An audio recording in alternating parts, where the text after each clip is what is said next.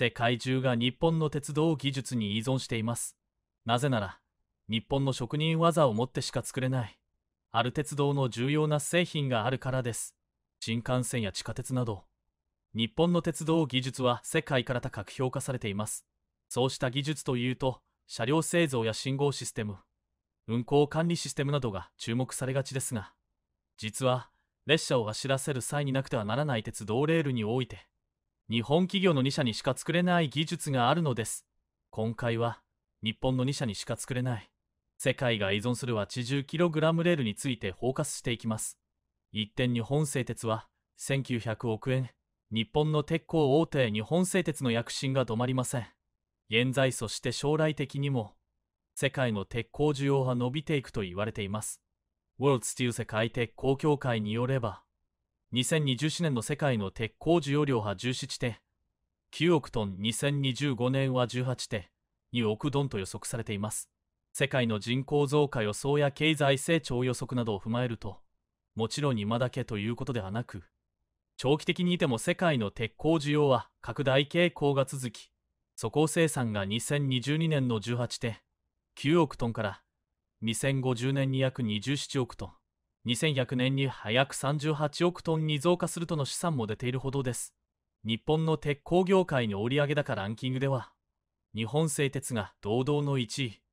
2024年3月期の事業利益においては過去最高の役は1900億円を叩き出しています。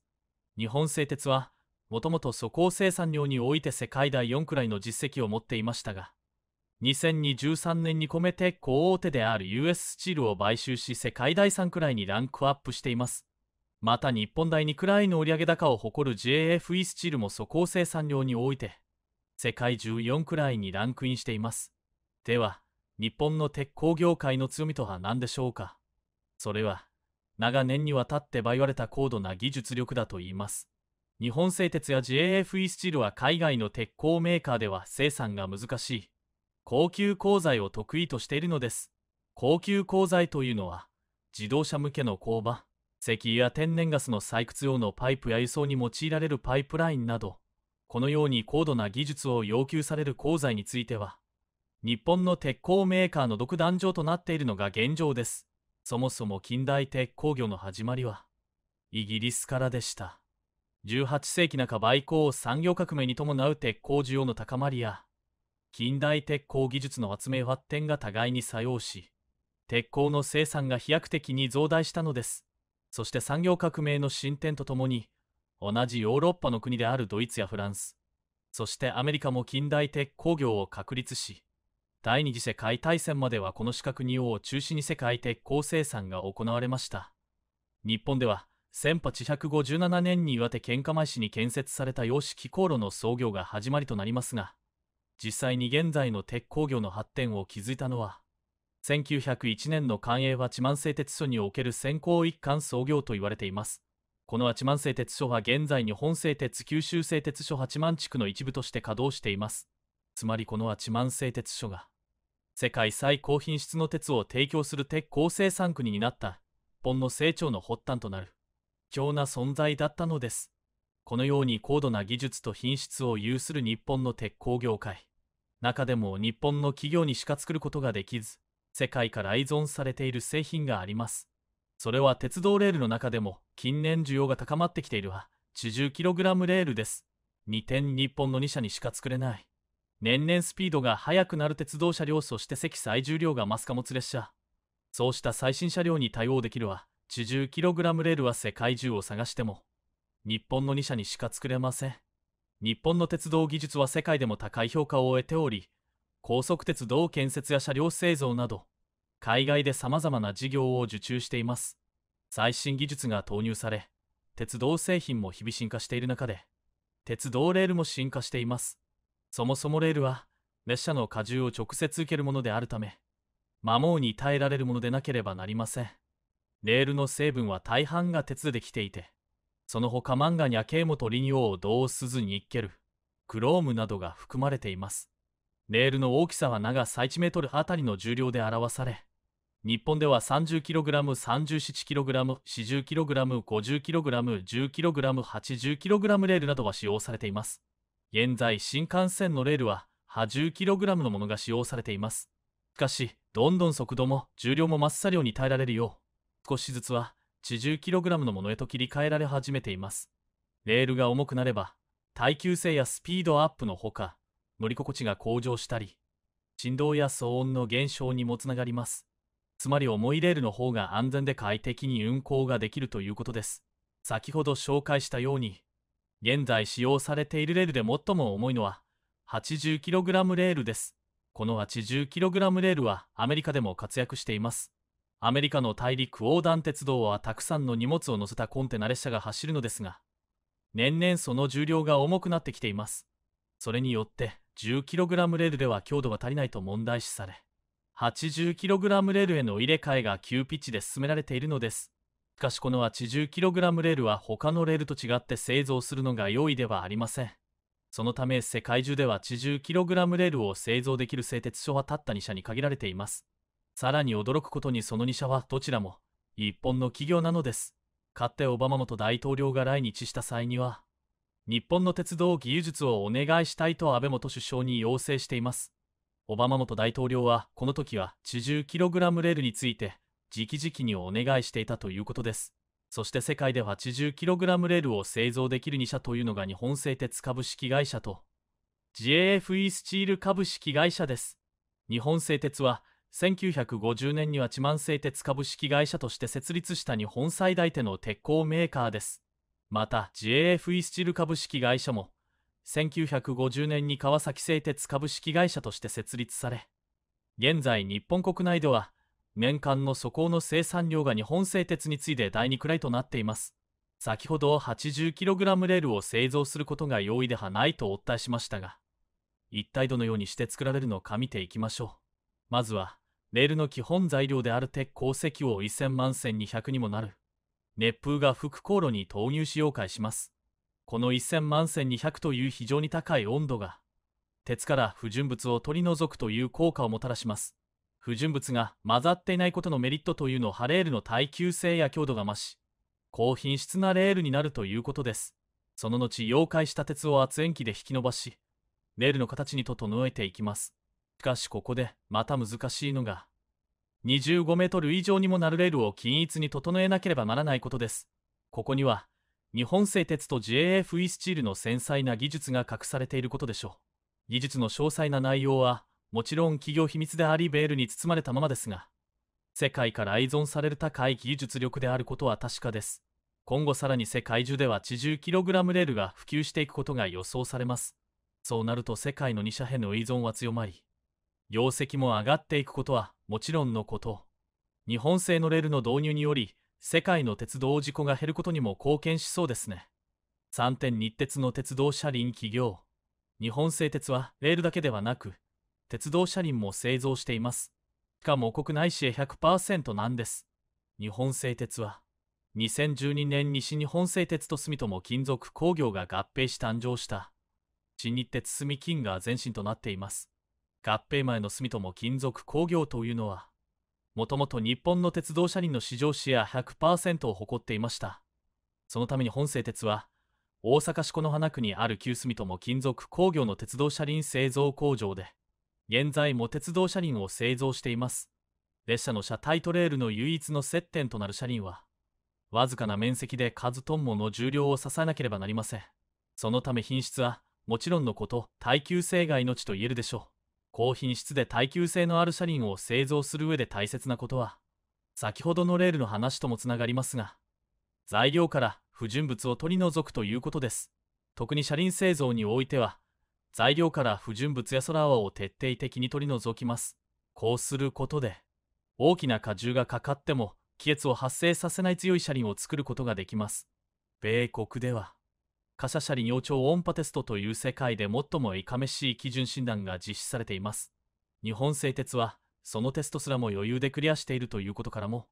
世界トップレベルの技術を持っていることがわかりますよね。さらに日本製鉄の鉄道車輪は、耐熱性や軽量化、防音性にも増されています。日本製鉄は、素材配合や製法を工夫して、ブレーキをかけた時に車輪に発生する、熱の影響を受けにくくした耐熱性の高い H 1車輪を開発しています。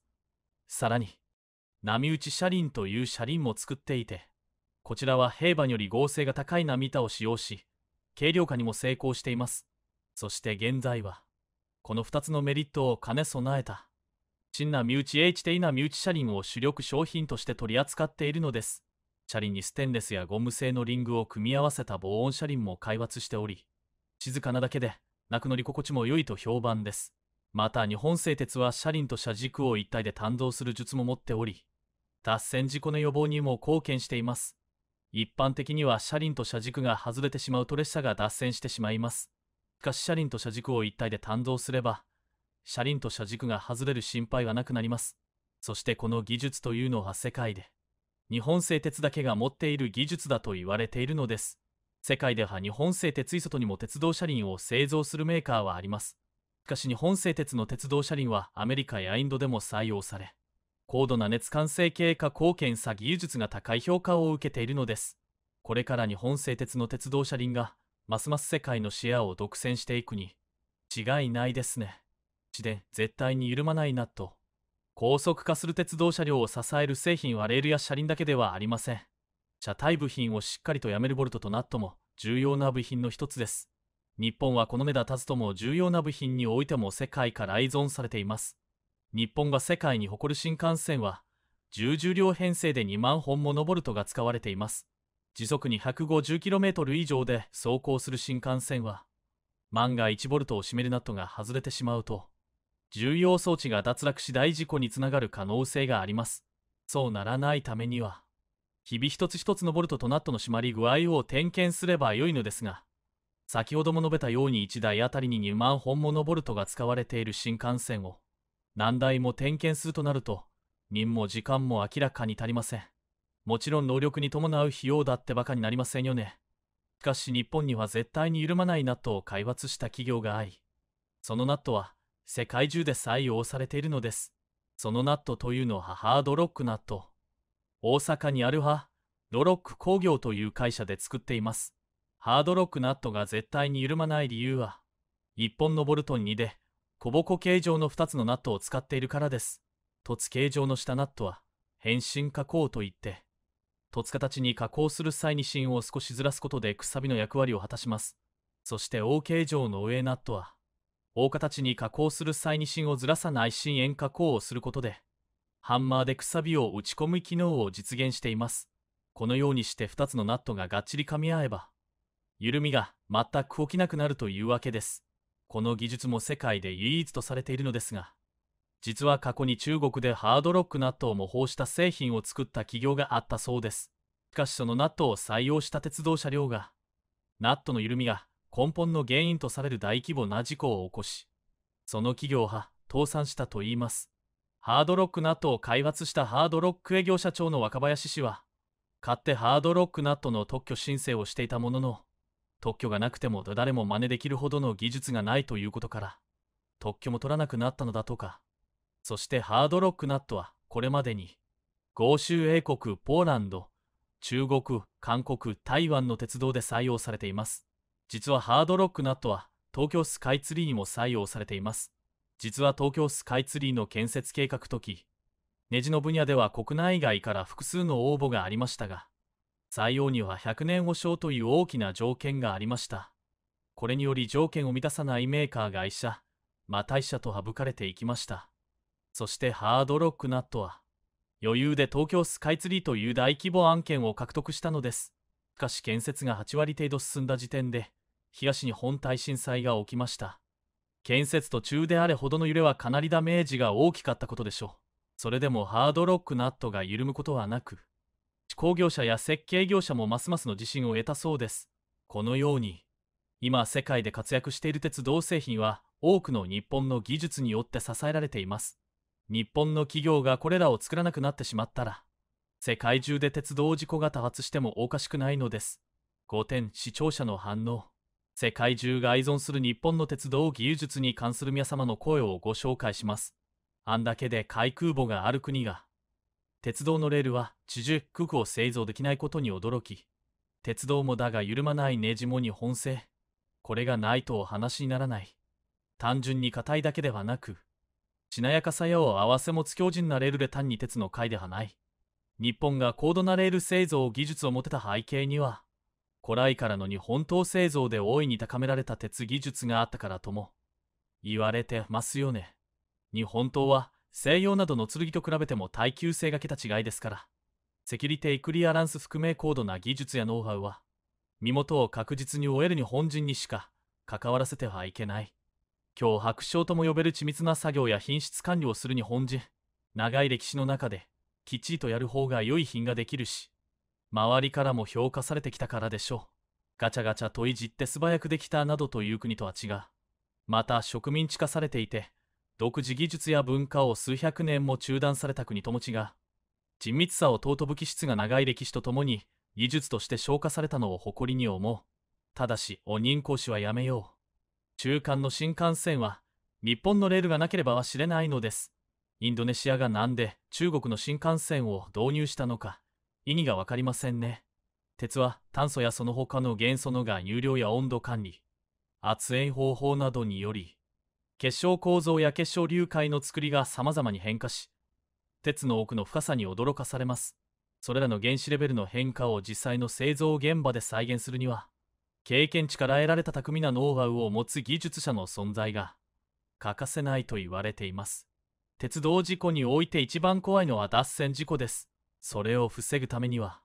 高速で車重の重い鉄道車両に耐えられるレールが必要不可欠です。このように重要なパーツの製造は、品質安全性に信頼を受ける。日本企業に頼むというのが世界共通の認識になっていて、日本人としてとても誇らしいですね。しかも 80kg レールはそもそも日本の企業にしか作れないというから、また驚きです。今後さらには 80kg レールを採用する国が増え、世界の鉄道がより安全になることを願っています。皆さんはこの話についてどう思いますか？考えをコメント欄に残してください。では、次のパートに進みましょう。日本が再び世界の舞台で注目を集める新しい発電技術、再生可能エネルギーによる発電は世界中の国々が直面している共通の課題です。太陽光発電や風力発電は一般的になってきていますが、それだけでは電力需要の多くを賄うことはできていないのが現状です。電力は基本的に貯めることができません。そのため必要な時にその電力を用意する、つまり発電する必要があり、安定的に発電し続けることが求められます。例えば、太陽光発電の場合発電するためのエネルギーは太陽光です。そのため夜間は発電することができません。10年代生まれの私世代は、電気は当たり前のように使えるものだと思っていました。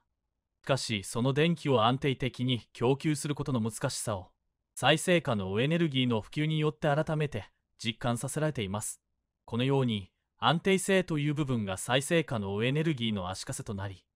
電化シェアを広げることが困難になっているのです。こういった中で、日本が開発している海流発電が注目を集めています。海流発電は、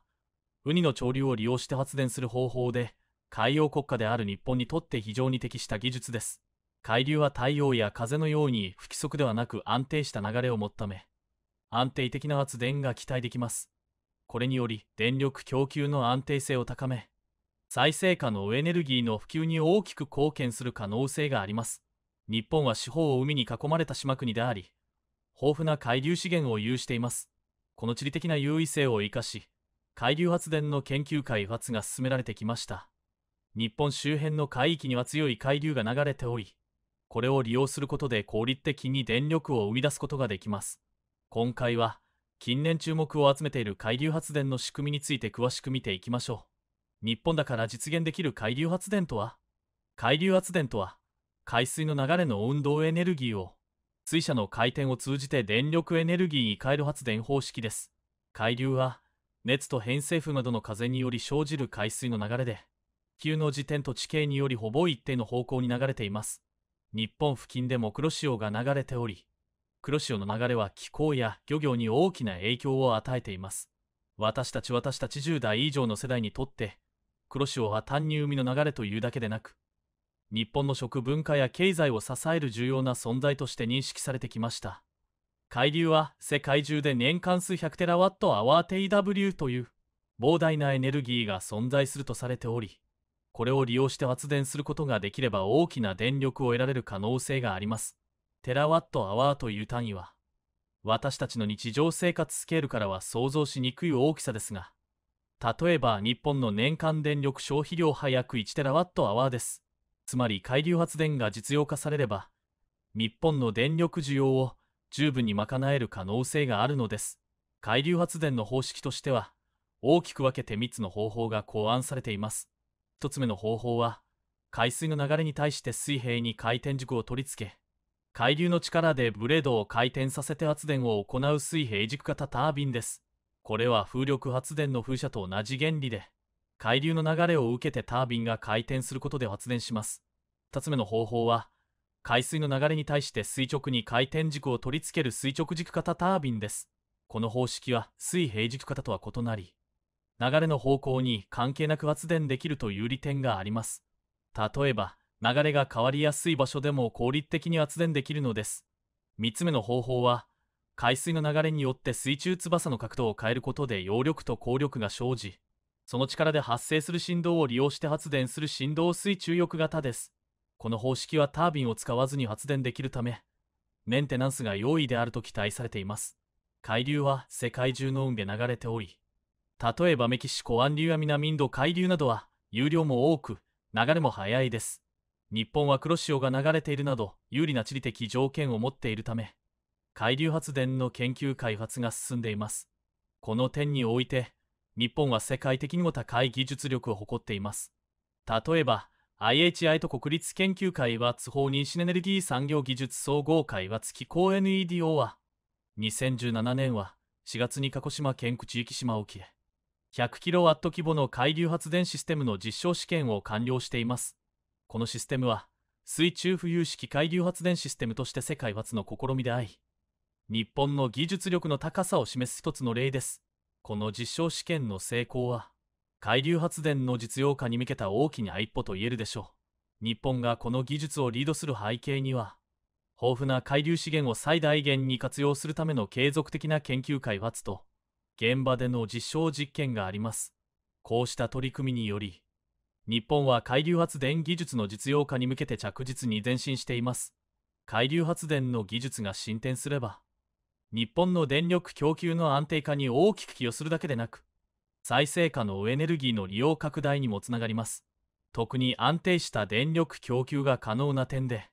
他の再生可能エネルギーと比べて大きな利点があります。これにより再生可能エネルギーの割合が増え、環境負荷の低減やエネルギーの自給自足が進むことが期待されます。海流発電は、海水の流れの運動エネルギーを利用して発電する再生可能エネルギーの一つです。世界中の運で流れる海流は、例えばメキシコ湾流や南インド海流など、流量も多く流れも速いものが多いです。日本は黒潮が流れているため、海流発電に適した有利な地理的条件を持っており、この分野で世界的にも高い技術力を誇っています。例えば、イギリス北部のペントランド海峡では、ヨーロッパ最大の海流発電所を建設する計画が進められています。これは海流発電が世界的に注目を集める再生可能エネルギーの一つであり、各国が開発競争を繰り広げている分野であることを示しています。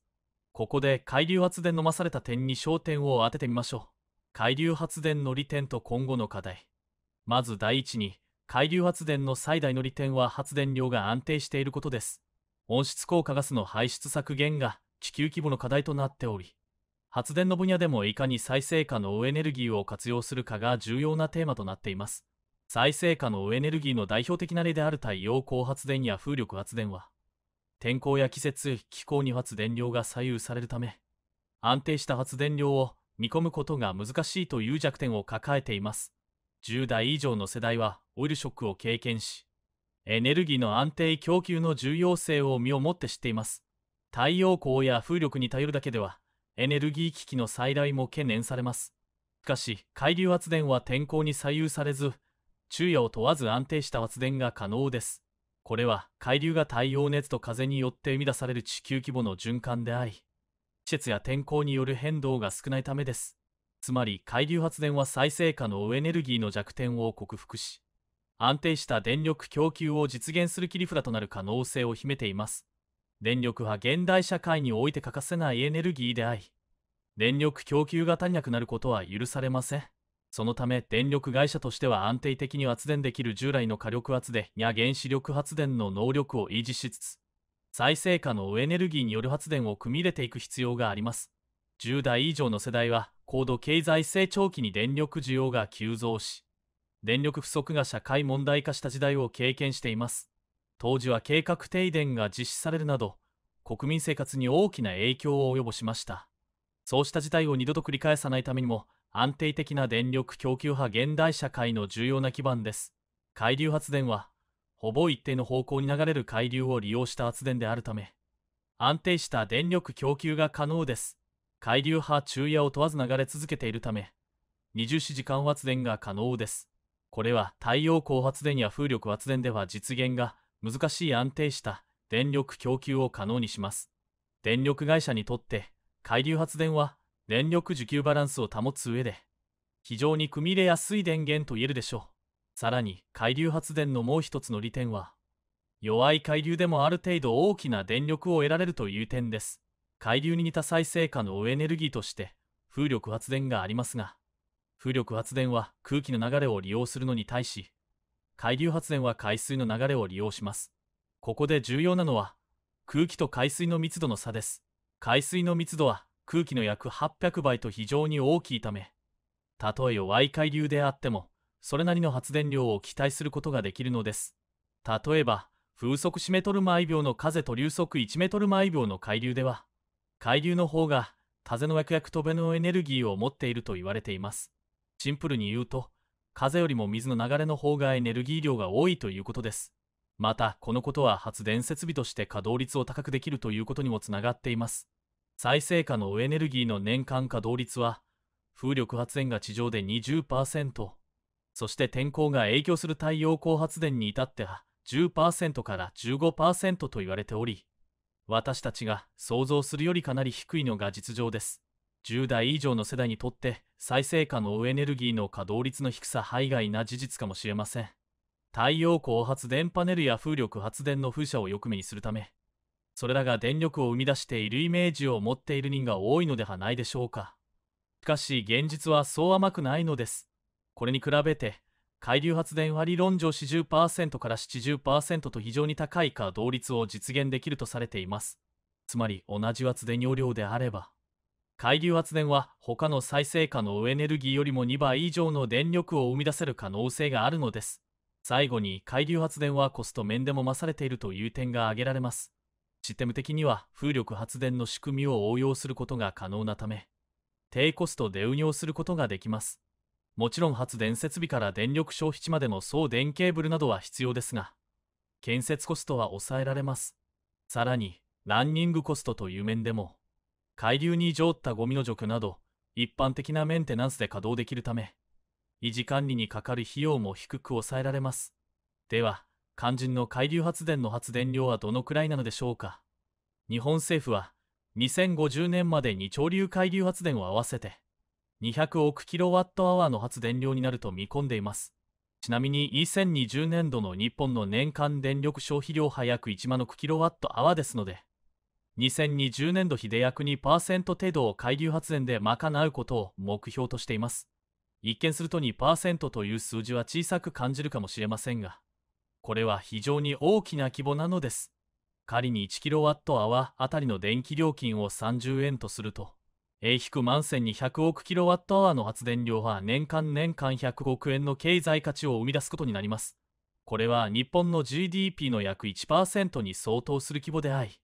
海流発電が日本経済に与えるインパクトの大きさを物語っています。例えば富士経済の調査によると、海流発電を含む波力発電、温度差発電、地温度差発電、塩分濃度差発電、浮体式洋上風力発電の海洋エネルギー市場は、2030年には9兆500億円に達すると予測されています。これを考えると、海流発電を含む海洋エネルギー市場は非常に大きな市場に成長すると言えます。2017年は4月に行われた鹿児島県口行島沖での実験では 100kW 程度の発電実験でしたが実用化に向けては2メガワット級の出力を想定しています2メガワットと聞いてもピンとこないかもしれませんが、これは一般家庭の消費電力を一世帯当たり年間年間1000キロワットアワーとすると、約330世帯分の電力に相当します。つまり一元の海流発電機で小さな町一つ分の電力を賄える計算になるのです。さらに付け加えると、実験で使用された水中浮遊式海流発電システムは、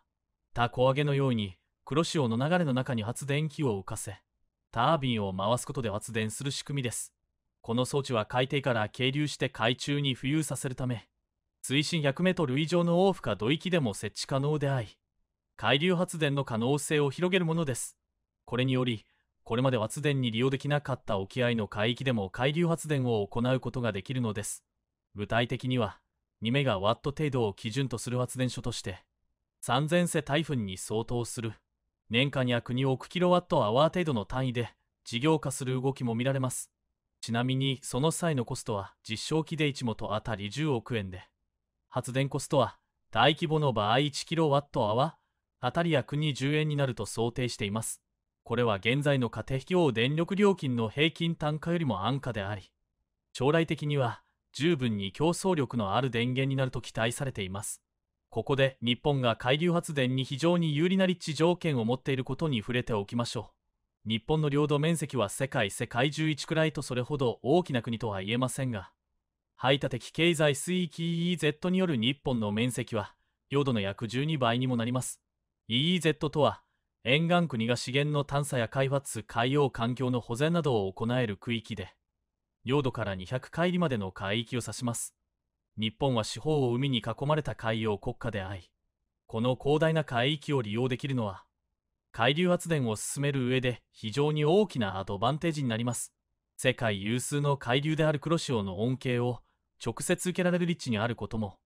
日本が海流発電に注力する大きな理由の一つです。黒潮は日本の南岸から東岸にかけて流れる世界有数の海流で、その流量は